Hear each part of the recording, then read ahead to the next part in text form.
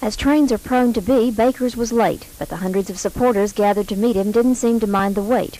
Rolling in to the tune of the Wabash Cannonball, Baker was joined on the back of the train by his wife Joy and son Darek, along with Republican gubernatorial hopeful Lamar Alexander, Public Service Commissioner candidate Tom Jensen, State Senator Ray Albright, State Representatives Bill McAfee and Bill Carter, Democratic State Senator Ed Black, and Chattanooga Fire and Police Commissioner Gene Roberts, who acted as master of ceremonies. Baker was concise in his remarks, summarizing quickly what he had to offer. Now, my friends, when you elect me, when you re-elect me to the Senate of the United States, I pledge to you that I will devote every ounce of my energy, every breath of my body, to see that these three things are attended to in the public forum.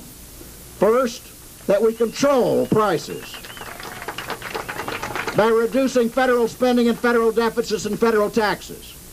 Second, that we return to a moral strength that made this nation great.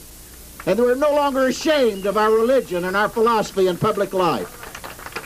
And third, that this nation always under God stays so strong that it will not only be able to defend itself against any challenge, but it will continue to be the leader of the free world.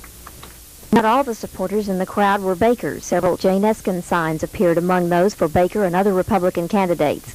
Baker made no mention of his opponent's supporters.